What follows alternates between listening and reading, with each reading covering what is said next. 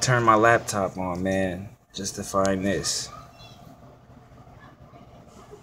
I was so pissed, dude. Like, look at this, man. What the hell am I gonna do, man? Right? But I'm gonna show you a quick fix. Um, you know, you might have it, you might not have it. It might cost you something. It might not cost you anything. Son, be quiet. Right? I'm gonna show you. Um, boom. This is your quick fix. You might already even know this. It's an HDMI cable. Make sure you have an updated TV. You know what I mean? This is nothing, nothing fancy. This is a 32 inch flat screen TV. But look, okay, you plug in your HDMI cable. Alright? Nothing.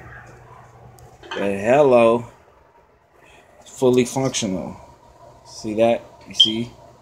See the cursor moving around? Yes, sir. But yeah, that's how you do it, man. Just get an HDMI cable and uh, use your imagination. Do the rest. All right, guys.